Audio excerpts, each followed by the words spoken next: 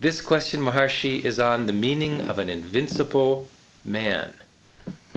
Maharishi says that transcendental meditation and its group practice can raise any nation to invincibility. And Maharishi also says that transcendental meditation can raise any individual to a state of invincibility as well. I understand what it means for a nation to be invincible. That is a familiar phrase. But what does it mean for an individual to be invincible? Would he have no enemies? Or would the enemies he has be unable to overpower him? What would life be like for a person who is invincible? Invincibility will make a man fulfill his desires without obstacle, without great strain. There is one phrase in the Vedic literature that speaks of the invincibility of the individual, invincibility of a nation, invincibility of a world, and invincibility of the cosmic life. Invincibility at every step. And what it says, Heyam Dukkham Anagatam. Invincibility is that quality which is not disturbable by anything. On the individual level, this is applied to the ability to fulfill desire. I desire a thing, and the desire gets supported by natural law, and the desire is fulfilled. When the desire is fulfilled, then I am invincible. When the desire is not fulfilled, that I, then I am struggling to fulfill it, struggling. So this struggle is no more there in the field of invincibility. An individual is invincible when his desires get fulfilled. And fulfillment of desire is a phenomenon of the desire consciously created at the source of thought. Source of thought is a wave in the ocean of consciousness. That wave in the ocean of consciousness is a wave of the ocean of consciousness. This is self referral consciousness.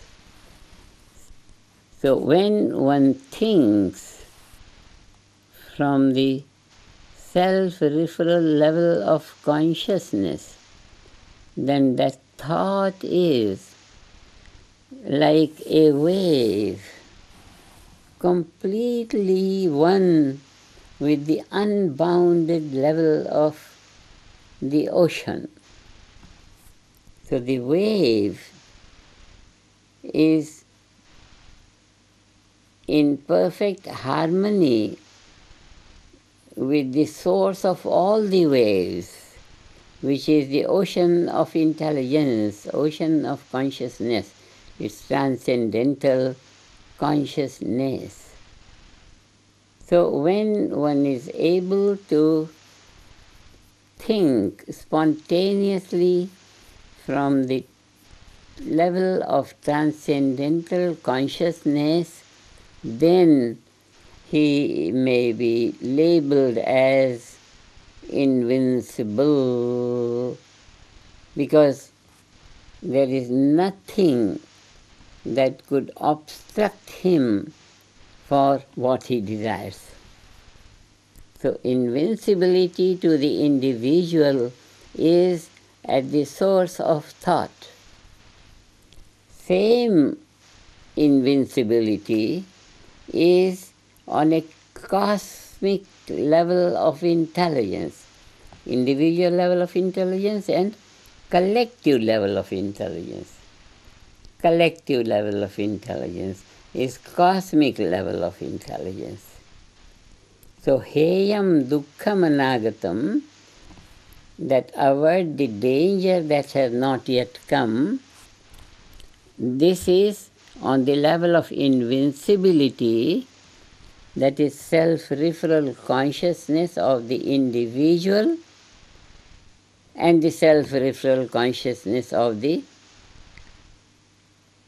nation and the self referral consciousness of the world, unified field of nations, and the self referral consciousness of the universe.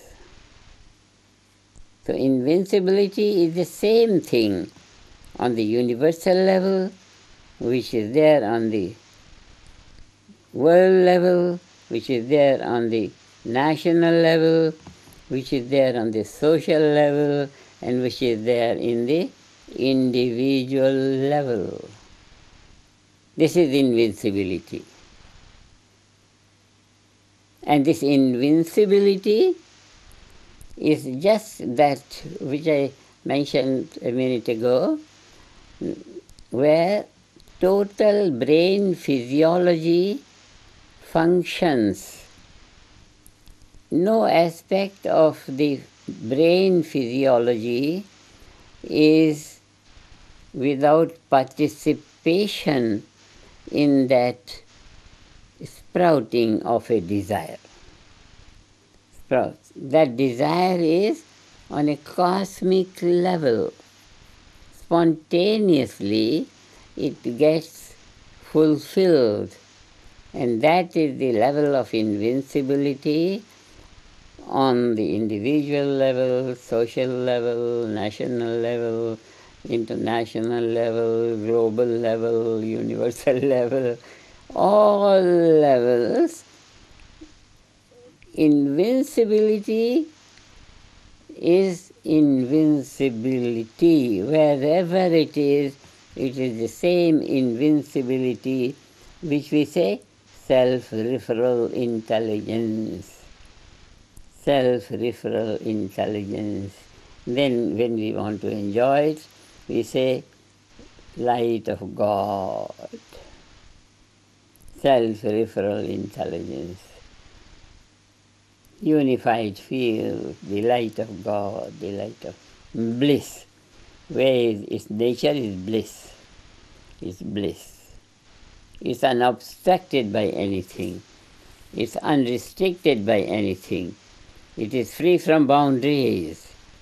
It is unlimited infinity. That is unity consciousness. Consciousness where nothing is out of one's own awareness. Total value. This is transcendental consciousness. This is transcendental consciousness. The fundamental field of intelligence where all and everything is possible. All things are possible, everything is possible. This is the level of invincibility, and this is through practice. For practice, there is a scientific theory, theory of measurement Wherever the attention goes, it enlivens the point of attention. It enlivens it. Enlivens it. it. Is the unmanifest field of reality, which then manifests through attention and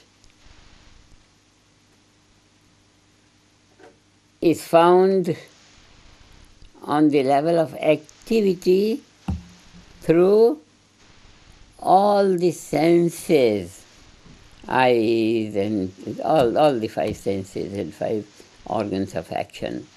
It's an invincibility. This invincibility is a point of self referral reality of one's own consciousness. And that is why being one's own possession is just a matter of attention, just a matter of memory about it. You don't, you've forgotten it, you remember it, and it's there. That is why it is very, very simple, easy of achievement. And just it needs some practice and then it becomes, it comes at the level of action. Knowledge comes on the level of action. Intelligence becomes creative intelligence. It's just a matter of knowing it. Knowing it by being it. This is practice. Practice of transcendental meditation is advanced techniques, is advanced techniques proven by the flying technique. You, you, you think a thought and the thought gets materialized. You think of flying, there is a sutra, there are words. You think of those words and then the words become materialized instantly. And instantly the body is up in the air. The body being up in the air indicates to whatever little extent commands over the force of gravity. This force of gravity is just a different name to unifying principle or unified principle, or unified state, and unifying mechanics. So gravity is unifying, and it shows in instant control over it, command over it, for whatever little time. With practice, becomes more and more at home, becomes more and more at home with it. And what becomes more and more at home? Invincibility becomes more and more at home, more and more at home. This is on the individual level. Infinity on the individual level is the unit of infinity on the collective level, on the national level, international level, global level, universal level.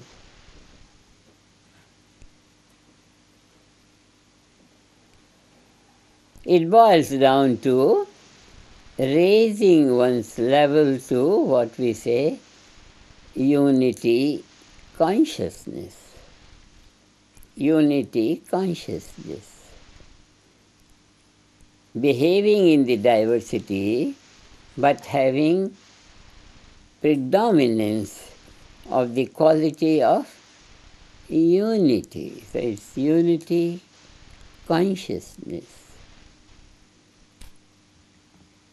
So the education has to be in order that one rises to the level of unity consciousness. And in unity consciousness, invincibility is a practical status. it is uh, it becomes a living reality. Invincibility to become a living reality. And that we have found a group of 8,000 or maybe one or two or three groups of 8,000 people practicing yogic flying will have enough unifying influence in the global consciousness that invincibility will belong more and more to everyone on the practical level of action, on the practical level of doing, in one's thinking, in one's actions, what will be dominating more and more through practice, invincibility will be dominating more and more and more and more and more and more. Invincibility more and more and more and more. Unity consciousness it is called.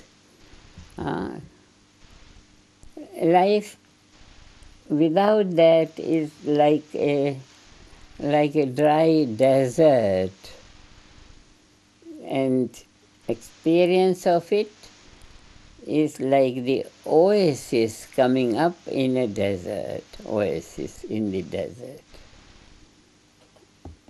So we are going to have that education which will raise unity consciousness. And the unity consciousness rises from the waking state of consciousness to cosmic consciousness, to God consciousness, to unity consciousness. Sequentially, it rises, it rises, it rises. It becomes more and more stabilized, that's all. Becomes more and more stabilized.